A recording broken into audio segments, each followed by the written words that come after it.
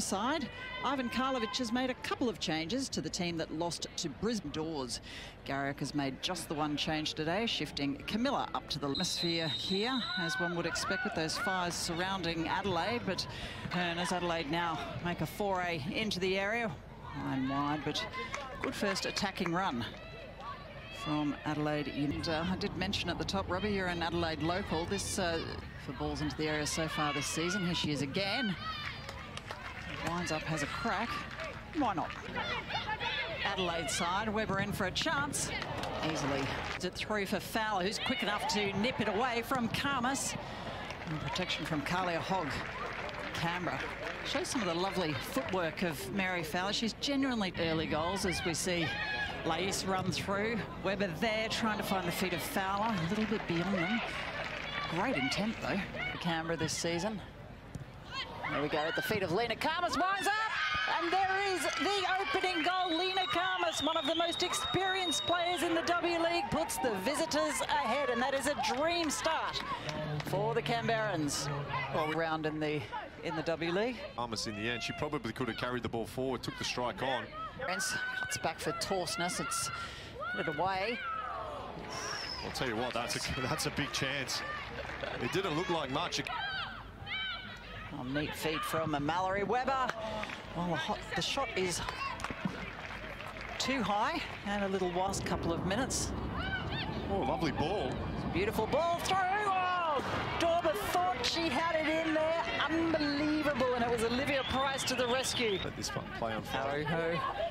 Fowler's there. Winds over a left foot. So close to Fowler. Just past Sham Khamis's left hand upright. And Kurtz still Charlie charging ahead.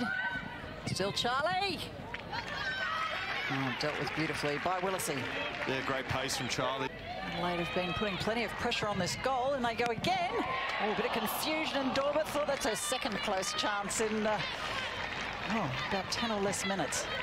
That's enough for the first 45. Players go in complex. It is Adelaide United nil, Canberra United one. Sit back a little bit more in the second half. No, no, how the Garriock side sits back. With Nick Orgel. Orgel puts it back into the mix and no real intent on that second Hogg running in to close her down. Let's put it at the feet of Elise Thorsnes. But the offside flag has gone up. Be interesting to see that one again. Yeah, we will uh, note a lack of a clinical final touch, although it's up and over. Dawber is always there or thereabouts at these goal scores. Nick Orgel cuts back. Oh, that was almost a second for Leena Khamis. Wouldn't she have enjoyed that? Certainly would have. This way, Khamis again.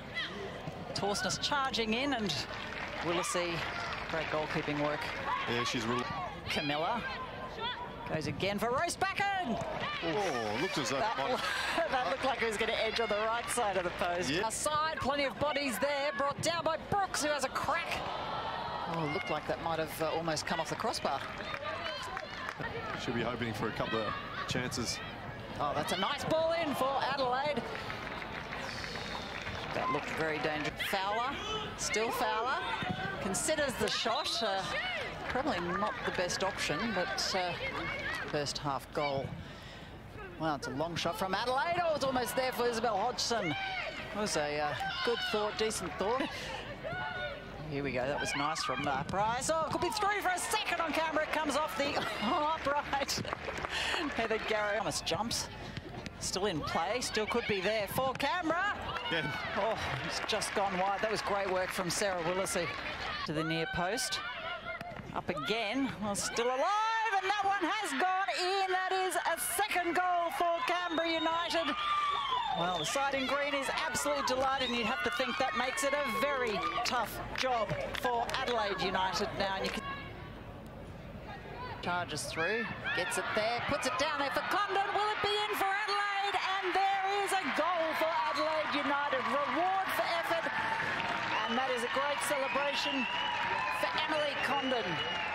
The home crowd is delighted to see it. Adelaide United 1, Canberra United 2.